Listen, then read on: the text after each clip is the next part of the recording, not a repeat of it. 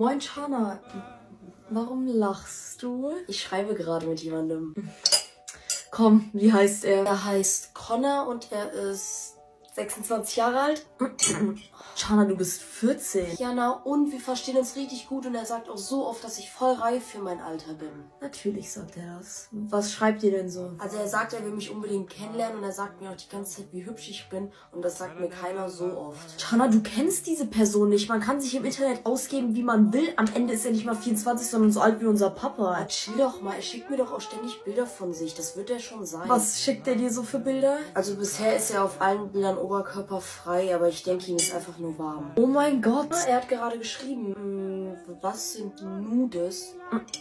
Warte, was? Ja, er fragt, ob ich ihm Nudes schicken kann. Was ist das? Chana,